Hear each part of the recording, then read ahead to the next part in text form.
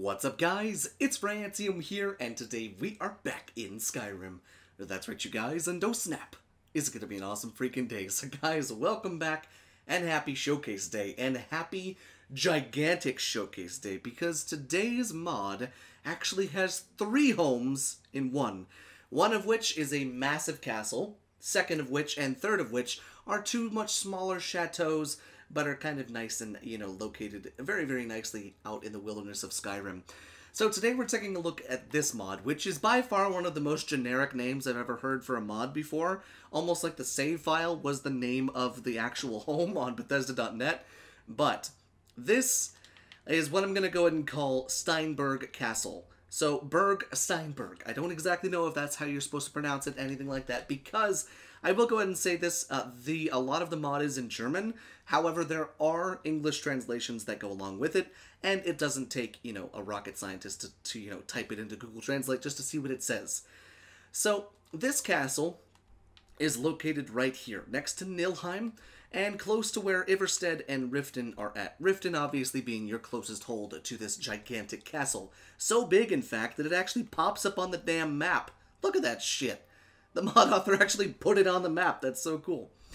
So this home was a very peculiar home But that I, you know, when I first walked into it and started looking at it, I was like, this is just an empty, hollow castle with nothing on it or anything like that. But then I realized there are small workbenches along the exterior of the castle as well as the interior of the castle that allow you to go ahead and add the additions that you want onto your castle.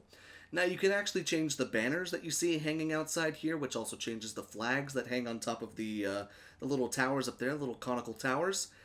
But overall, the castle itself is ginormous. It's massive. However, a lot of it on the outside is a bit of empty space.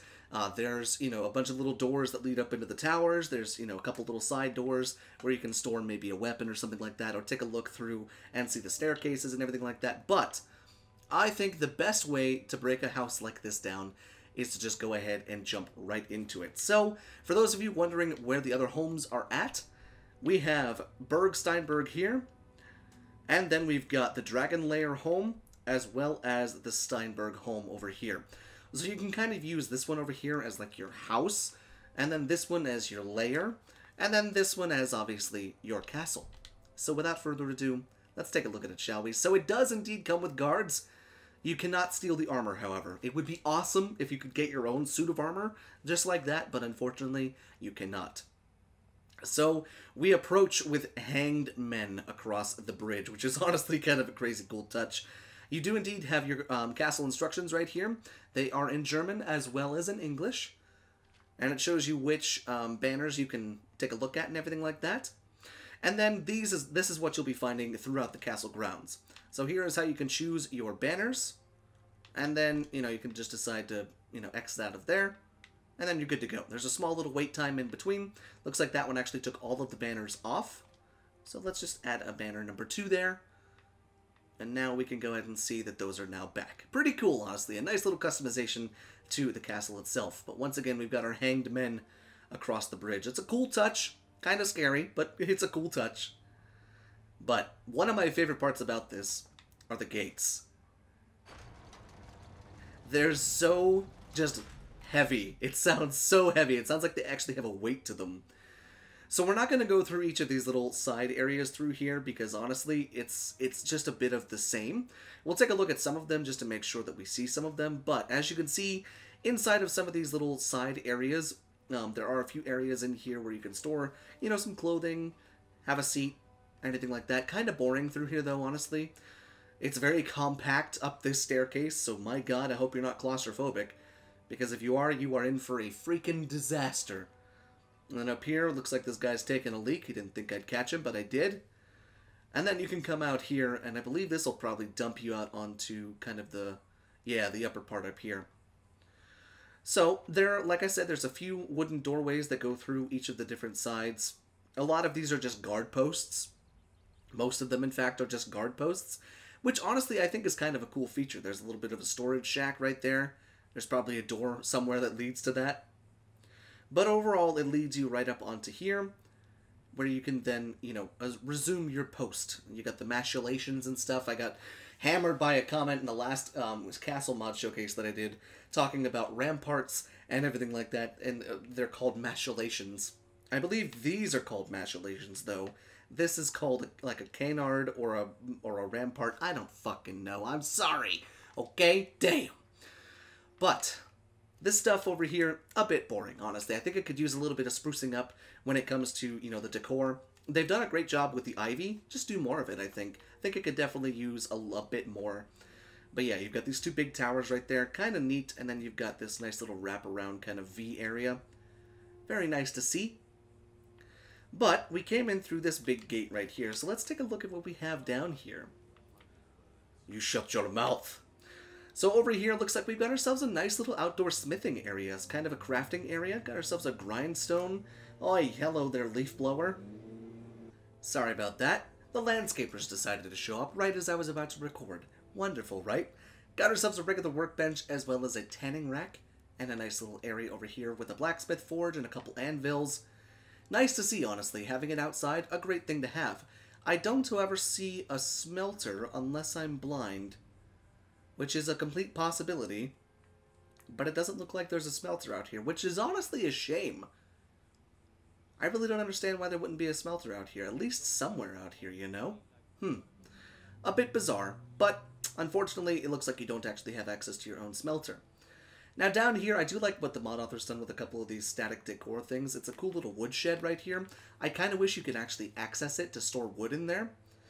But we've got ourselves a couple things to take a look at down here, one of which was the wood chopping block, if I'm not mistaken. Where is the wood chopping block? I know there is one around here somewhere. But it looks like in through here we actually have a little spot um, where your guards can stay, but there's also an enchanting table.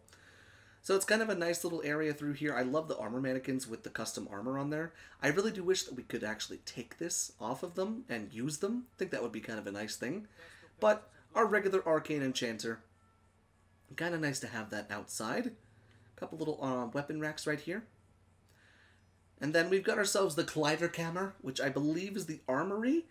And then the other one was right here. That's the other door to that to the armory. But then if we want to take a look at this one, I believe this is the guards' quarters. Yes, so this is what I would go ahead and call a barracks. I'm pretty sure that's what I would call this. So you can actually come in here and uh, click A on that, and yeah, this is the guardhouse. So you can actually remove things that are inside of the guardhouse as well if you just want it to be kind of plain and bland. But this is where your guards will sleep. This is where your guards will be entertained and everything like that. They can eat dinner.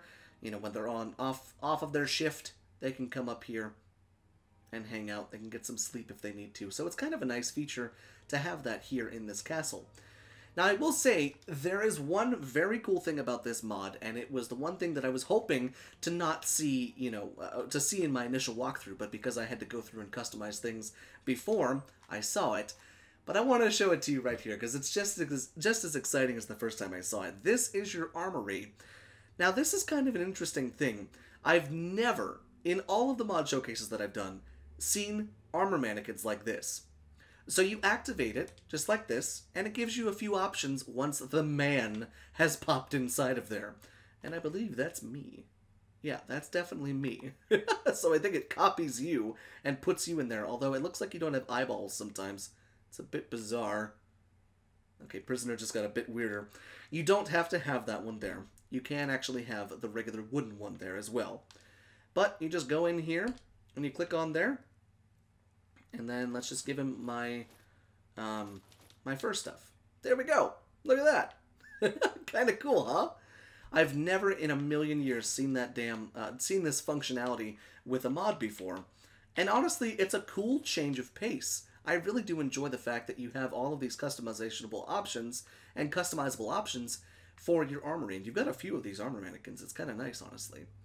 But got some nice little, you know, bookshelves right down here. It's all for show. Nothing too, too crazy about it. And then one of the side doors to get back to the castle grounds. So now that we've gone ahead and seen a lot of the main features on the, you know, the first floor of the castle, we can then begin to take a look at what the actual castle has to offer on the inside. So, we go here, we open up our front gate. And then through here, there's a couple things that you can take a look at. So you've got yourself the exterior right here. So you have your armory, your expansion, your bakery, as well as your companion quarters, a wardrobe, and uh, nothing. So the bakery. I've not yet seen the bakery. However, I don't really know if it's part of this castle or if it's actually a part of another one of the other houses in this mod. So I'm not sure. If anyone did find it, do please let me know down there in the comment section where the hell it's supposed to be. Either that or it's inside of the castle itself. So, I suppose without further ado, welcome home to Steinberg Castle. And here we are, inside of your fairly cozy, kinda cold uh, main entrance with a gigantic dinner table with just so much good food on there. Look at all of that. I'm so jealous of freaking people in Skyrim, man. They eat like kings and queens. It's crazy as hell. But how many butts is this? One, two, three, four, five, six, seven, eight butts. That's a lot of butts. That's that's kind of crazy. More armor mannequins on the inside, as well as a teleport castle home spell, and some more you know stuff right here to go ahead and uh, uh, take a look at all this. So that's how you customize the inside of your castle. And honestly, it's so cool with all the tapestries and the shields and and the the um, the seals and stuff on the walls. Granted, I think it looks kind of clunky in some of the textures, but I think that's mainly because they're probably just like imported JPEGs um, that the mod author took a you know from Google or something like that and just kind of slapped them onto a texture on Skyrim and called it a day. I don't blame them honestly. but we got ourselves a cooking spit right here, big ass hearth, as well as our regular alchemy lab that you'll normally find in any home, which is kind of nice honestly. But there's a couple things to take to take a look. One, uh, gigantic wardrobe. My God Little chest right here for some storage. But where does this lead? Weapon rack. So this goes to something called the Kerker. I believe in the customization thing, this was the dungeon slash, like, torture chamber. Because, I mean, what castle is complete without a torture chamber? Oh, yeah, that's definitely what this is. Uh, are those living people in there? Oh, yeah, those people are definitely alive. Let's let's go. This guy, these these people didn't have as much luck. Uh, let's go and see what's going on with these peeps in here. That door is so intimidatingly loud. I love it. Uh, what's going on? Need something? Uh, uh, do you need something? Uh, because... Need something? Uh, do you also need something? I shouldn't... Oh, good lord, there's a lot of hanged bodies in there. Let's go and get out of there. Okay, so I have to assume that those might be human cattle and or just prisoners. I don't know. I don't want to know. I'm not into that. That's not my kink. But yay yay. All right, let's go ahead and make our way upstairs. Uh, hello there, um, mannequin. Glad to see you. Hope you're having a great day there, Jeff. Big staircase. I do don't I I do don't good one Ryan. I don't really like the walls all that much. I think they're a bit cold. But I mean, it is a stone castle, so it's kind of difficult to make a castle feel warm on the inside. So if you come across any of these doors, they are simply balconies. Um, this door right here, and then there's one more above us. But check this out. Got ourselves some bookshelves for the bookworms of Skyrim. Got a nice little library in here, as well as the master bedroom. It is a bit dark in here. Let's go ahead and bump up the brightness all the way up. It is a bit dark, but this is the master bedroom. It's got a cupboard right here. Got ourselves a nice big bed. I do love the seals right here. I kind of wish I knew what they all stood for and where they were all from. And looks like we've got... Okay, so just for transparency's sake, when I opened that guild box right there, I did crash. But what I didn't notice uh, was there's actually a Teleport Dragon Lair home book right there, as well as the Steinberg home right there. And we're not going to open that box because it, it scares me. but kind of a nice little area to have right through here. Got ourselves a bunch of these big-ass wardrobes honestly kind of nice to have that, that storage here. Kind of a bland, uh, I can see that uh, they like deer. the, the, or maybe they don't like deer, that's why there's heads all over the place. What do we have back here, though? Ooh. This looks to be maybe a guest bedroom slash children's bedroom. Based on the little toys right here, I'd probably go ahead and say it's a kid's bedroom, which is honestly kind of a neat touch. Having the kids right around from the parents, kind of a cool touch. I like that. But then on our last spot, or our last stop up here, this is the... Oh, okay, wait. Was there bathrooms and was there toilets? Not toilets, bathtubs in my initial walkthrough? I don't remember seeing bathtubs. Maybe I just didn't walk up there. Look at it! So we have the regular bathtub. This one's for the peasants. And then we've got over here the bubbly one for the king and queen. oh my god. Not sure how I feel about having a gigantic fire pit next to my fire pit, next to my on fire, probably bathtub. But you know what? That's totally fine. Uh, more fire for everybody, right? It's not like we have a wooden ceiling. Oh, wait, yes, we do. But, but it's still kind of cool to have this, honestly. A bit weird to be having a, a dinner table slash place to eat right next to where you're going to be bathing, possibly. But I mean, to each their own, I suppose. These are most likely shit buckets. So we'll just go ahead and take that and empty that in the peasants one, obviously. We're not going to empty the king and king, king and queen shit into ours. No, we're going to put that in the peasants one. There we go. So, I do believe that that's everything that this castle has to offer. However, we're not done yet. There are two other homes to take a look at. So, I'm going to do another once over and make sure that I didn't miss anything in the castle itself. If I did, I'll come back and we'll still be here. If not, I'll meet you at the next home. Okay, so it seems I did actually miss one place, and it was this area right here. I'll go and show you where it's at on the outside, but I want to say that this might be the bakery. Remember we were talking about the bakery in the beginning of the showcase?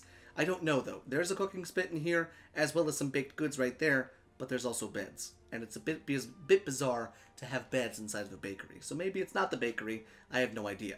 But it is called this. That's what you're looking for. I'm not even going to try and pronounce that because I would probably butcher it. But now on to the next home. So here we are at the Dragon Lair home down here next to Lake Ilinalta and Falkreath. So I love this area down here because it's always so lush and always so, you know, overgrown and everything like that. It's a beautiful area down here. And I think the details on this house are much better because it's a smaller space. But outside we got ourselves a nice little cooking spit. And I will say I haven't seen the inside of this home because I wanted to make sure that the front door worked and loaded, but I didn't go inside. So let's see what the Dragon Lair home looks like. Okay, hello there, random uh, deer pelt on the wall. okay. Kind of a nice little area down here. A bit boring on the inside, but I like this floor. It kind of reminds me of a Sims floor, honestly. Another cooking spit on the inside, just in case. Little shit bucket right there, just in case. I like the big windows. I do wish that they, like, brought light in. That would be really cool. That'd be a great way to get a lot of natural light in here. I like the wraparound area. Just kind of a vanilla with sprinkles area through here, but looks like there's actually an upstairs. What do we have up here? Oh, there's a bed. Oh, and an armor mannequin. Two armor mannequins, actually. Nice. So you can actually store a few things over here as well. Grab yourself a nice good night's sleep if you need to. Got yourself an alchemy lab. That's kind of nice. And then looks like a regular bookshelf. That doesn't work. And a couple pelts and stuff. Okay. So nothing really too, too crazy about this home. I assume this is just a balcony? Yes. Uh, it's a very tiny balcony. So yes, this home definitely on the smaller side. Certainly not as expansive or, you know, as, you know, uh, refined as the castle, I'd say. The castle in itself, you know, with its size, it has a lot more room for things. But having done that one, I think I like the outside area of this one more than the than the inside area. But there's one last stop on our showcase today, and that is the actual home located here next to Sunderstone Gorge. And here we are at the Steinberg home, and I think out of the three homes that are included within this mod, this one has to be my favorite. It's like the prettiest, I'd say. It's definitely like one of the best areas, and altogether, it just looks so awesome. What is that? I hear you, wolves. I don't care where you're at. Don't try and kill me, please. I'm trying to show people stuff. So yes, right next to Sunderstone Gorge, Gorge, Sunderstone Gorge, right down the road from Markarth as well as Morthal, but your closest hold is still probably Falkreath. Now, what's the point of having two homes in practically spitting distance of each other? Because you're rich and you don't have to worry about anything, okay? That's why. Don't think about it too much, okay? Okay. So, gigantic stone foundation, my god, but I love this. Looks like a brick, brick oven pizza thing. Hey, hey, hey, what did I tell you? You are not to interrupt. Stupid thing. I do like the wraparound deck area. But I gotta get up here and see this outdoor. Oh, I see a tub. I see a hot tub. Give it to me. Look at it. It's beautiful. I love it. God dang it. I love this, though. Look at that. Is that Alduin's head? Kind of looks like it. This is such a cool little spot. It's even got a damn grill back there. What the hell? What a great spot. Dang, the mod author really knows how to choose the great picturesque spots, that's for sure. Alright, well let's take a look at the actual home and we'll finish off today's showcase there. Okay, here we are. This looks very nice and cozy. Look at the walls and the floor, the tapestries. Okay. I'm digging this. I, I love the fact that they've continued to use these as well.